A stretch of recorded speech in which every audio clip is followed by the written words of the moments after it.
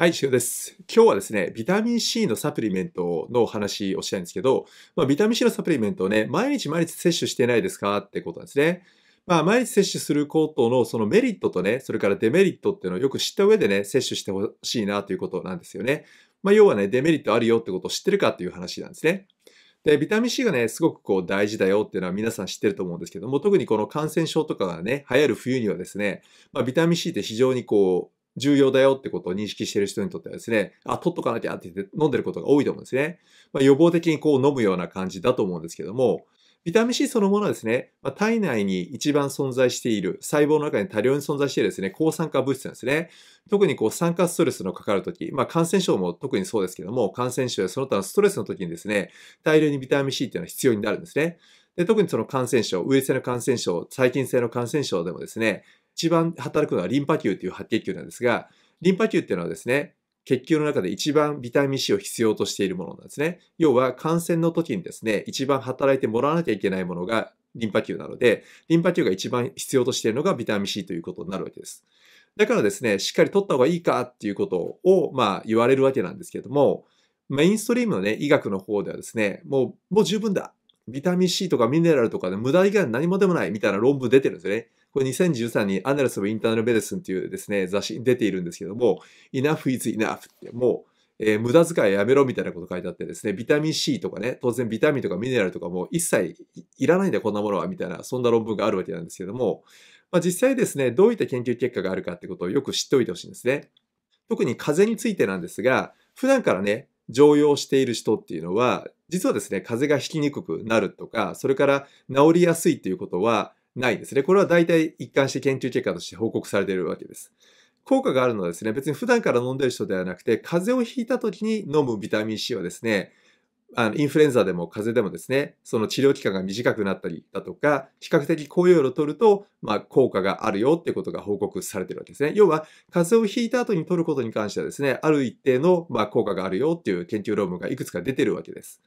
で、あとですね、結構ストレス状態の時ですね、こういったまあ、ストレスっていうとですね、例えば運動負荷が強い時とか、本当にストレスが強い時いろいろあると思うんですけども、ストレスが非常にかかっている状況の時というのはですね、ビタミン C 取っておくと、まあ、風邪のリスク、引きにくくなるってことはあるということなんですね。だから、まあ、ストレスがね、それほどでもなくて、それから、まあ、普段から取ってしまっているような人っていうのはですね、風邪を予防する効果っていうのはあまりないよってことを知っておくべきなんですね。だから風邪の予防と思って毎日毎日飲んでることっていうのはあまり意味がないということです。普段からね、ビタミン C のサプリメントではなくてですね、やっぱり食品から取っておいた方がいいわけですね。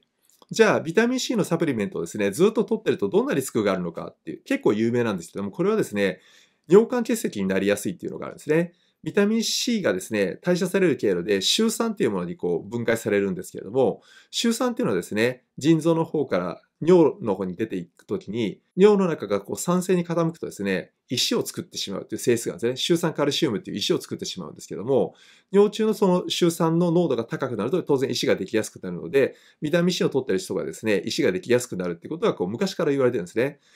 ただ、実際ですね、このビタミン C の成分からですね、シュウ酸になるっていうのは結構遺伝的な要素が大きいので、まあ、全員が全員になるわけではないと思うんですけども、実際どれくらいのリスクですね、尿管結石が新たにできるかというと、まあ、300人に1人なんですね。で300人に1人ってね、まあそれなりに結構リスクが高いなというふうに僕らは判断するんですよ。だから非常に無視できない数字なんですね。ただね、このリスクの増加は、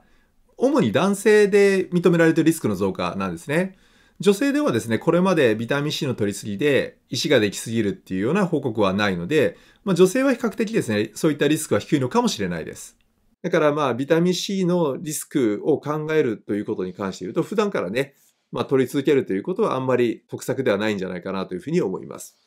え風邪を予防する効果にとってはですね、まずは食品からですね、みかんとかオレンジとかキウイとか、それからレモンとかね、パプリカとか、それからキャベツ、ブロッコリー、さつまいもとかね、そういったまあ、ビタミン C の含んだ食品をしっかり取っておくと。で、食品から取る限りはですね、尿管結石の心配ってあんまないんですよね。なぜならば、まあ、尿管結石というのはですね、酸性のおしっこになった時にですね、結構できやすいっていうのが分かったようです。だから尿管結石の治療の時はですね、尿を酸性化している、まあ、原因をですね、取り除くってことなかなかできないんで薬出すんですけれども、アルカリ性になるような薬を飲んでもらって、まあ、再発を予防するみたいなことって治療の上でやるんですね。ですので、野菜と果物をですね、しっかり摂るような状況になっていればですね、尿はそんなに酸性に傾かないので、当然リスクが低くなるわけですね。だからビタミン C はですね、同じビタミン C だとしてもですね、やはり食品から取っておくっていうことがですね、得策だよということです。ですので、サプリメントのビタミン C を取るのはですね、風邪の引き始めとかね、風邪をひいた時に、え普段取ってない人がですね、比較的多めに取ることによって、そういった治療の期間を短くするって効果が期待できる。そんな取り方をしてもらった方がいいというふうに思います。